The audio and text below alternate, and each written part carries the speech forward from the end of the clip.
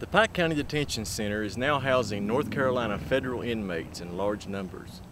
Housing them until the Department of Justice can send them to their next destination. Today I talked with Pike County Jailer Brian Morris. So here at the Pike County Detention Center, we try to run it three to one. Three to one versus one being non-paying inmate versus three that are. So that's always been our ratio.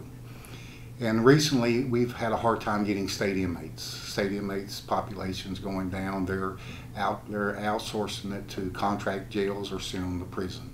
So my numbers on paying stadium mates has went down. Grab up the back to school tech bundle from Appalachian Wireless. Save up to $850 off. Choose from select iPhones in all sizes, iPad 9th and 10th gen, and any Apple Watch with a two year contract on the Mix and Match or Appalachian Advantage plan. We are you. We are Appalachian Wireless. County jail houses three levels of inmates county, state, and federal. There is no daily reimbursement for county inmates until they are sentenced. State inmates, however, bring a per day reimbursement, while federal inmates bring an even higher rate.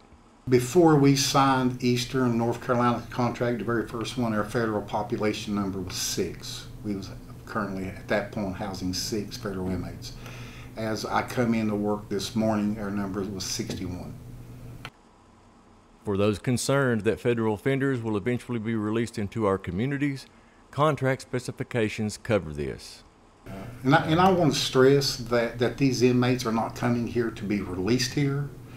Like we've picked up inmates out of uh, out of Grayson County, Kentucky, brought them here, housed them for three hours, put them back in a van, and took them to New Jersey.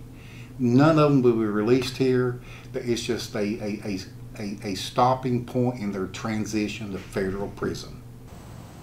Morris said today that they will be asking for a 60% increase for housing federal inmates from the U.S. Department of Justice. Reporting for Mountaintop News, I'm Sheldon Compton.